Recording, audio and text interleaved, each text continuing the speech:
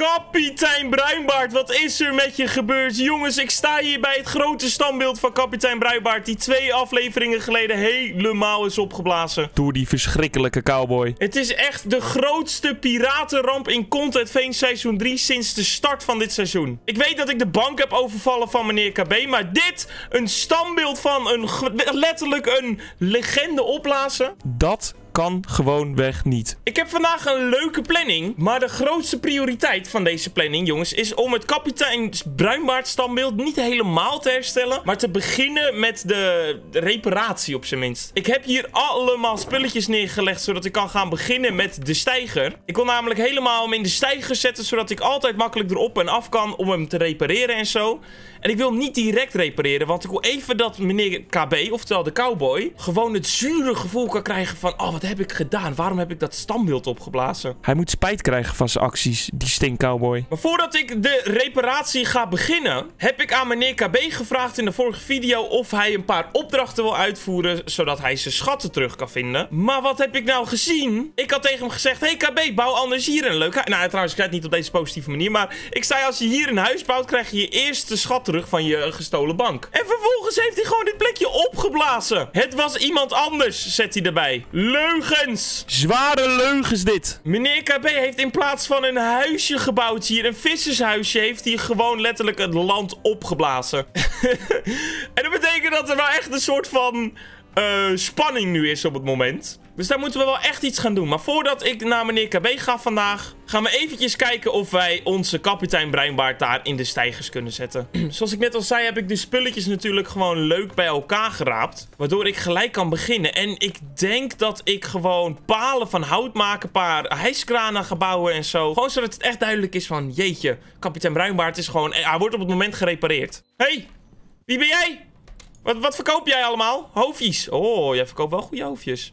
Maar ik ga je negeren. Want het is tijd om te bouwen. Jongens,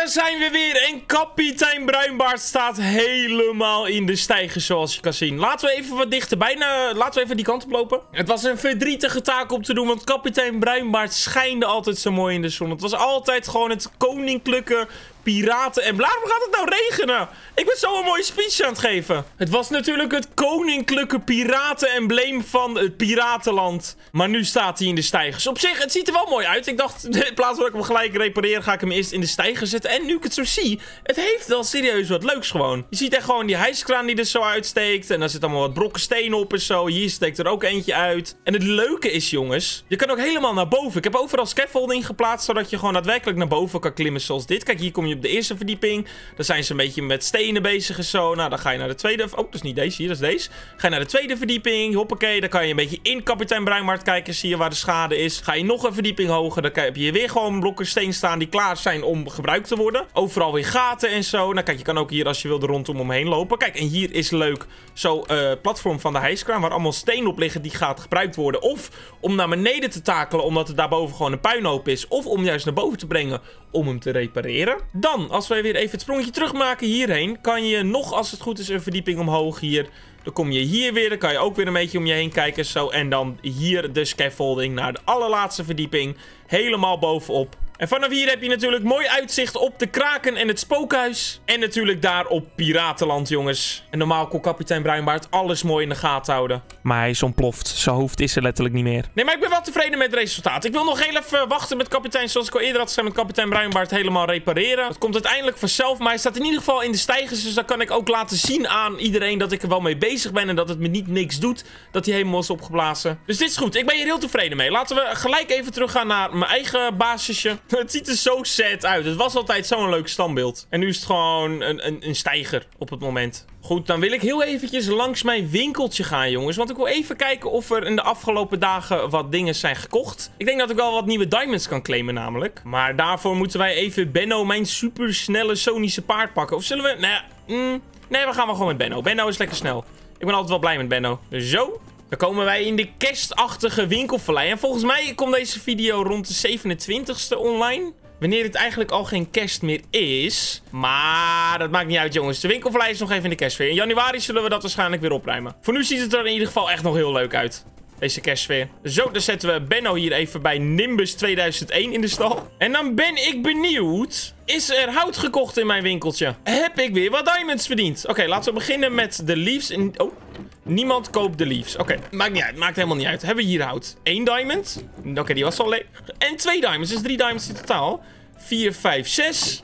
Is allemaal leeg, maar ook hout is bijna op. 7, 8, 8 diamonds. Oké, gaat goed, gaat goed. En dit is niet verkocht. En dirt is 9 diamonds in totaal. Prima. Ik ga helemaal kort. 9 diamonds erbij, jongens. Dan hebben we iets meer dan een stack diamonds. Helemaal top. Benno, het is tijd om weer te gaan. De zon gaat onder, dus laten we snel... Oh, niet tegen sneeuw. Oeh, sorry Benno. De zon gaat onder, dus laten we snel naar huis gaan. Zo, hoppakee. Goed, jongens, we staan hier nu weer op mijn schip. En mijn hele inventory zit weer vol blokken. Dit omdat ik nog een leuk idee heb wat ik nog niet heb uitgevoerd, maar wel eigenlijk wil gaan doen. Maar daarvoor moeten we heel even hier in mijn schip naar beneden. Dan moeten we even langs al mijn goede, wat noem je dit, piratenvrienden, Hermelien, Penelope en naamloos... Wat zit jij posten mij te raar naar mij te kijken met één wenkbrauw omhoog? Arrogante village was dat. Wie is dit? Is dit Ron?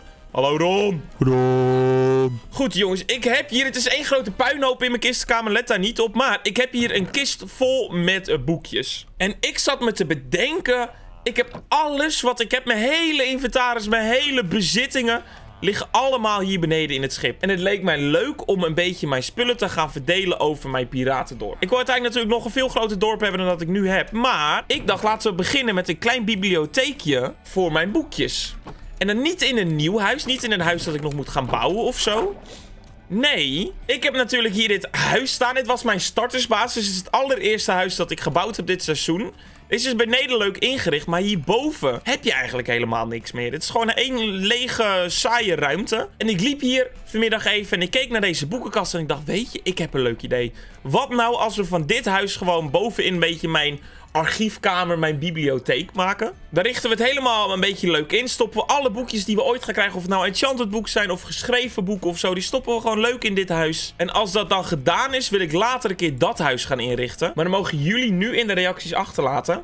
Wat moet er in dit huis hier komen? Dat wordt het archiefhuis, het boekenkasthuis, de bibliotheek. En wat moet hier komen? Moet ik hier mijn steen plaatsen, mijn hout misschien? Misschien is dit wel mijn, mijn farmhuis waar ik al mijn eten moet plaatsen. Verzin het jongens. Jullie hebben allemaal wel goede ideeën. Wat moet er in dit huis hier komen? Ik weet in ieder geval dat ik hier nu even lekker mijn boekenkastenruimte ga bouwen. We kunnen als het goed is naar binnen parcouren. Zo, hoppakee. En ik heb er natuurlijk al leuke spulletjes allemaal meegenomen. En ik dacht als we hier nou gewoon een soort van een leuk bureautje bouwen. Met misschien in het midden een leuk zo, hoppakee. Dan dit hier weghalen. Want ik heb leuk boekenkastjes meegenomen. Doen we hier gewoon als standaard gevulde boekenkasten. Bouwen we het een beetje leuk dicht. Zoals dit, hoppakee. Mm, hier kunnen sters komen. Misschien ziet het denk ik wel leuker uit. Zo, zo. En dan kijk, dan hebben we een soort hokje gecreëerd. En dit is dan leuk gewoon het, uh, ja, een soort kant, een tafeltje, weet je. Het is heel simpel. En dan hier dacht ik, jongens, om hier een beetje het archief te maken, zoals dit. Dan houden we ook een beetje plekjes over, gewoon, zoals dit. Komt dan een ster en dan komt hier een, uh, en weet ik veel wat, ander detailblok. Maken we hem ook een beetje oneven qua hoogte. Gewoon zoals dit. Dat het er lekker random uitziet. Nou, weet je, we kunnen wel de hele muur vullen gewoon hier. Gewoon lekker zoals dit. De hele muur vullen. Tot het einde. Deze ertussen plaatsen. Hier nog deze tafel mooi. Hier random een, een ding zo. Nou, die, die is wel heel random. Die kan beter hier. Hoppakee. Huh? Als je zo'n blok sloopt, krijg je hem niet terug. Dat wist ik niet. Als je blijkbaar een, een, zo'n chisel bookshelf sloopt met een extra, krijg je hem gewoon niet terug. Oh, dat vind ik wel heel random. Dus ik had dat geweten. Kijk, hier doen we leuk een platformpje zoals dit. Nou dat ziet er niet uit. Een beetje blaadjes ertussen. Om het een beetje groenig te maken. Ja, dit ziet er leuk uit toch, jongens? Deze nog even vervangen voor zo'n lectern. Hier hebben we ook nog archief mooi. Kunnen we hier ook een lectern plaatsen, heel random. En veel erbij van waarom niet. Dan heb ik losse boekjes meegenomen om die hier een beetje gewoon random te plaatsen, zoals dit. En dan ook gewoon hier een beetje af en toe boekjes op plaatsen. Gewoon hier een boekje, hier, hier een boekje. Zo, oké. Maak het een beetje bibliotheekachtig, weet je. Een hendel erbij, want waarom niet? Lijkt net... Geen idee. Is misschien... Oh, weet je waar een hendel wel op kan lijken? Op zo'n uh, pen, weet je? Zo'n hele ouderwetse pen die je dan uit het inkt moet trekken. Zo, het lijkt er wel een beetje op. Doen we deze eentje hoger, zodat we er een lantern aan kunnen hangen. Nou, dit is toch een gezellige bibliotheek, jongens. Dan kunnen we deze boekenkasten langzaam allemaal gaan vullen met boekjes die ik in het loop van dit seizoen zal krijgen. Ik heb er al een paar. Die moet ik zo meteen even hierheen brengen. Dan wil ik alleen hier nog eventjes dit weghalen allemaal. En hier gewoon van die nutteloze boekenkasten plaatsen. Kijk, hier komt gewoon een beetje zoals dit. Gewoon boekenkasten. Dit is namelijk een loopruimte hier. Hier ga ik verder toch niks doen. Beetje blaadjes erbij om het weer te versieren. Trapdoors hier en daar erop om het nogmaals te versieren. Nou, dit ziet er leuk uit, jongens. Dit ziet er helemaal prima uit. Kijk, dan kom je voortaan kom je hier boven in deze leuke ruimte. Hier zo, dan lopen we door hier. En dan kom je in de bibliotheek zelf, in het archief. Misschien dat hier nog wel leuk een soort stoeltje kan. Ik denk het wel. Als ik hier nou gewoon zo doe. Heb ik science? Ja, ik heb science. Wacht, dat kan wat mooier. Kijk, dan plaatsen we hier science tegenaan. Zo. Dan heb ik alleen nog even een deur nodig. Hier, dan maken we gewoon een deur. Want de deur kan mooi functioneren als leuning van de stoel. Rugleuning. Kijk, ja...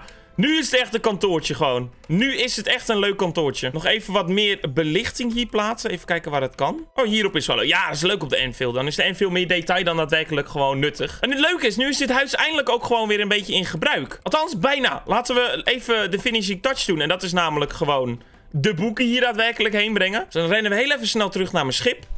Oké, dan dumpen wij mijn spulletjes hier even in een random barrel allemaal. Ik denk dat ik alles heb gebruikt wat ik wilde gebruiken. Oh nee, trouwens, ik neem deze en deze nog even mee. En dan nog even wat random papiertjes en zo. Oké, dan nemen we alle boeken mee die ik heb. Volgens mij zijn dit alle boeken die ik heb. Het leuke hier natuurlijk aan, jongens, is als ik uiteindelijk elk huis voor iets gebruik dan zijn inderdaad niet meer al mijn spulletjes... Oh, dat was zonde van het gras. Dan zijn inderdaad niet meer al mijn spulletjes in de boot. Maar dan is het gewoon even een beetje leuk verdeeld, weet je. En het moeten vooral dingen zijn die niet heel belangrijk zijn. En die ik niet elke dag nodig heb. Want dat wil ik natuurlijk wel op één locatie hebben. Maar dingen zoals mijn boeken. Ja, mijn boeken heb ik bijna nooit nodig. Maar het is wel leuk als die gewoon een bijzonder plekje krijgen. Kijk, laten we dan eerst belangrijk bericht bijvoorbeeld. Die doen we hierin. Dan heb ik hier een, ook een lege boekenquill. Dit is van dat Benny vermist was. Hoppakee. Kijk, nu ziet het er al veel gezelliger uit. Dan hier kerstgedicht knallen. Dit is het kerstgedicht die ik heb gekregen van de kerstman, die stoppen we leuk hier. Dat vind ik wel mooi. En dan deze boeken allemaal. Al deze boekjes kunnen we leuk hier gewoon gaan verdelen. Oh, imagine dat deze hele boekenkasten vol zitten met boeken. Hoe leuk gaat het eruit? Dat gaat er zo bizar leuk uitzien. Verdenken, hier mist er nog eentje in dat hoekje daar. Nee, nee, nee, niet in dat hoekje. Daar, ja, nee. Uh, het is moeilijk om te verdelen soms hoor, jongens. Hier linksonder. En dan het laatste boekje moet, denk ik, hierin onder in het midden. Nou, hoe leuk is dit? Ik bedoel, we hebben nog honden...